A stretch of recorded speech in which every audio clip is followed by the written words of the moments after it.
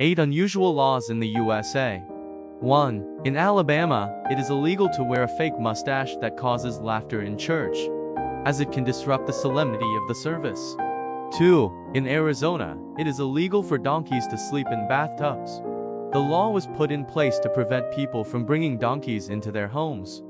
3. In California, it is illegal to whistle for a lost canary before a.m. This law is believed to have been put in place to prevent excessive noise in residential areas during early morning hours. 4. In Florida, it is illegal to imitate an animal. This law was likely enacted to prevent disruptions or confusion in public spaces. 5. In Kentucky, it is illegal to dye a duckling blue and offer it for sale unless more than six are for sale at once.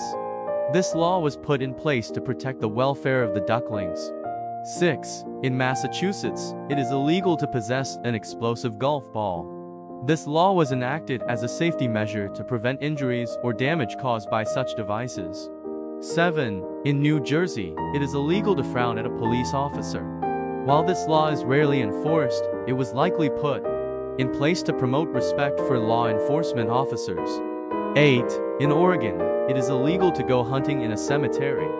This law was enacted to prevent disturbances in burial grounds and to show respect for the deceased. It's important to note that while these laws may still technically be on the books, many of them are outdated, unenforced, or have been superseded by more recent legislation,